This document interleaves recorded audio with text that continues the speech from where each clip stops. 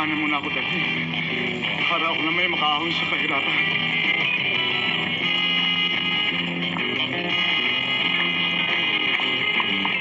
Oo, oh, sasama na ako sa'yo.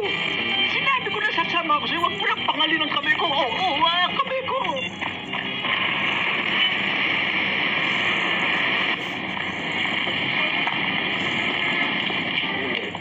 Kamusta pakiramdam mo?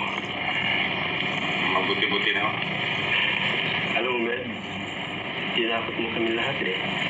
Mabuti na lamang nadala ka rito agad. Isipin mong limang unit at dugo ang isinalin sa'yo nung ikaw operahan. Baka hindi mo nalaman limang araw ka na narito. Si, medyo si Biringo. Hindi pa niya alam ang nangyari sa'yo. Dahil sa nung ikaw ay operahan, nagdalawang isip ako. Sabi ng doktor eh, makakaligtas ka. Kaya minabuti kong wag nang ipaalam sa kanya. Mabuti na naroon sila at sila ay tiyak na ligtas. At pati nga ang mga pahayagan, hindi ko na ipinagbigay alam. Salamat po, Major.